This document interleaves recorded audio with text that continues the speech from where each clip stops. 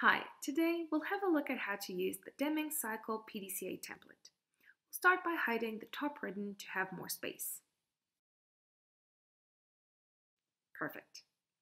First, let's go into the settings page.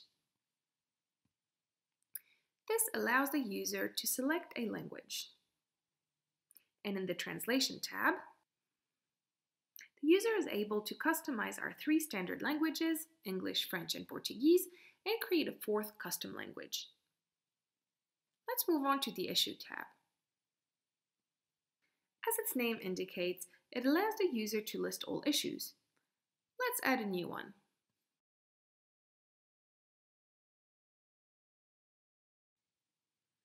Perfect. Moving on to the Department tab. This presents a list of departments. Let's add a new one called Operations.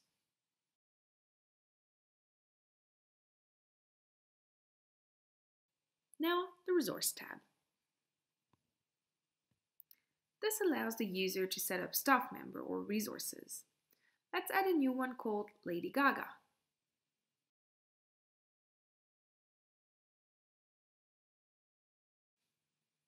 Assign her to our newly created department Operations. Great. Let's move on to the most important section, the PDCA.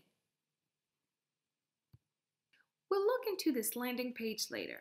First, let's go into the plan section. This is where we enter the list of tasks corresponding to the plan section. Let's create one together.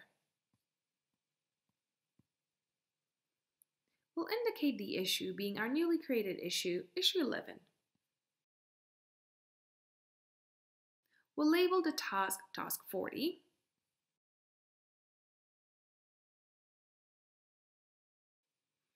assign our newly created team member.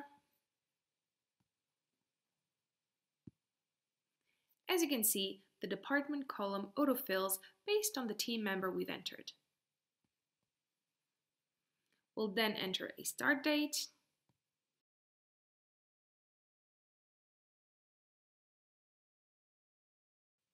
a due date,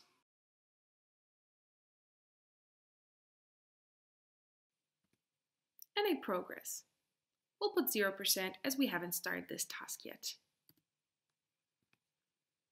As you can see, the status autofills based on the information we've previously entered. The do, check, and act sections are very similar to the plan section.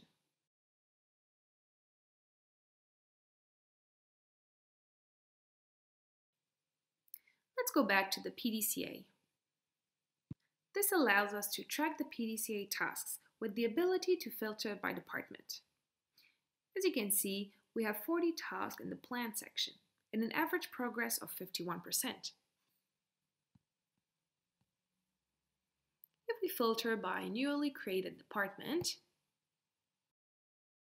we can see we have zero tasks for each section, except for the plan that has our newly created task and an average progress of 0%.